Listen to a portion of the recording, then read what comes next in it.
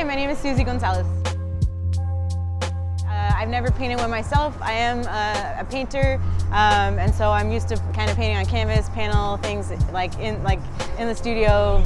I don't think I've probably painted something like bigger than seven feet.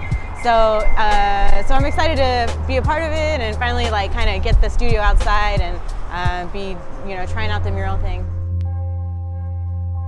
I think it's providing a lot of opportunity to some of us who haven't maybe uh, had the opportunity to uh, paint a mural. And so uh, I appreciate, you know, SCHEC looking out and uh, really trying to find people who are, uh, you know, either small scale painters or haven't done something like this.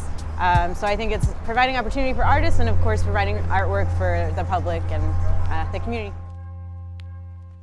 Okay, so I have a, a two-sided mural, and I have on either other side is kind of uh, like a Chicana goddess, um, with it, which is represented by a woman here in our community. Um, so on this side I have Pollyanna Roca, who is a uh, trans artist, poet, um, and musician, and I wanted to um, kind of have her praying uh, for the people right now because we need that a lot um, and kind of uh, being able to subvert this kind of Virgen image uh, in a way that I think is like um, this kind of prayers for the people, by the people, um, kind of kind of more secular and more uh, spiritual at the same time. So um, the other side I have Ale who's a local chef.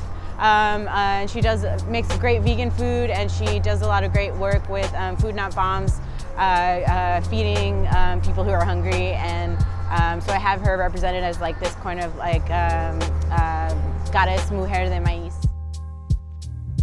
You know, having people come out, uh, I feel like the, the women I got to kind of model for my work um, are really excited about it and I'm glad I can like kind of bring that to them and make them feel like they're valid and doing good work in the community. So, so this is, you know, we have women represented as artists and I also want to have images of women represented. So.